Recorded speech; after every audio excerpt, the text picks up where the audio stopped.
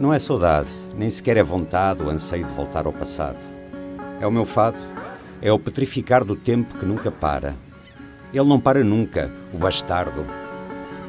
Admiro quem por bem com essa máquina do tempo faz um vão disparo e com o dedo para os ponteiros frenéticos, histéricos de relógio que nos instalaram.